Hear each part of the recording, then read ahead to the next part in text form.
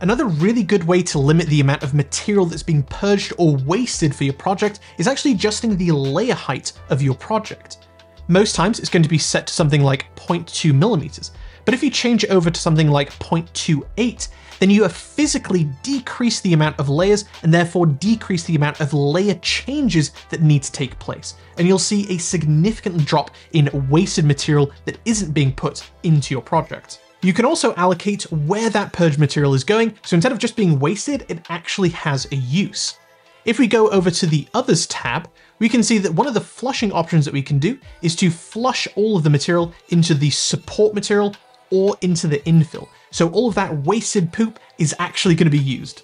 Finally, and most important, the amount of material that you're purging and wasting on a single part can seem really substantial but if you copy that part, it still has the exact same amount of purged material. So if you're planning on batch printing lots and lots of parts, make sure you print them all at exactly the same time because the amount of wasted material per part dramatically decreases.